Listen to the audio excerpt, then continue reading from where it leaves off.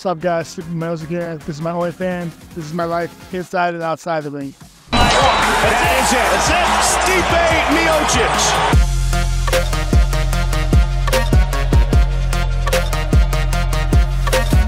I'm here guys behind the scenes of training, home life, all that good stuff.